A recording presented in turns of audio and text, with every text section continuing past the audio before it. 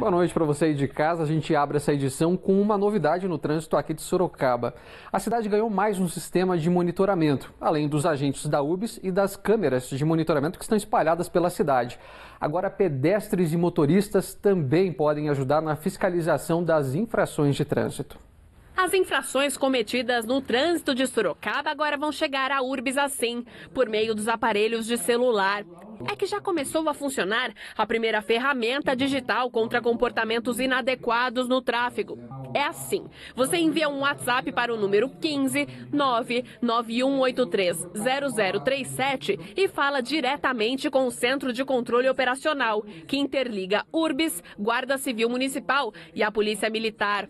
Autor do projeto, este juiz da primeira vara criminal destaca que, com a ajuda da população, fica mais fácil melhorar o trânsito na cidade. Se nós começarmos da base, nas situações mais singelas, a pessoa mostrar para o poder público que ela não concorda com infrações até simples, eu acredito que nós vamos nos educando cada vez mais e nós vamos reduzir esse número de de crimes de trânsito. É uma esperança. Uma ideia que a prefeitura soube aproveitar, já com o sistema de tecnologia da URBS, responsável pelo trânsito na cidade. Nós estamos disponibilizando a ferramenta para um leque maior de serviços.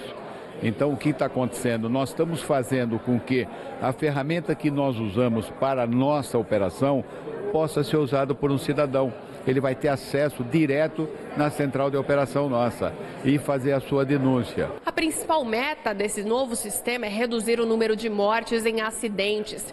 Se a gente observar os números divulgados pela URBS nos últimos anos, a gente vê que teve uma crescente sobre esse assunto. Neste primeiro semestre, foram 27 acidentados fatais no tráfego da cidade. No mesmo período do ano passado, o número era 18. Em 2016, foram 16 mortos. Nós precisamos melhorar isso. Nós precisamos crescer, né?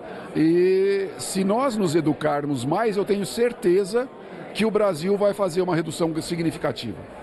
Você viu aí que a ideia é aumentar a segurança. A prefeitura garantiu para a gente que a ideia não é multar as pessoas com base nas fotos que eles vão receber pelo WhatsApp, por exemplo.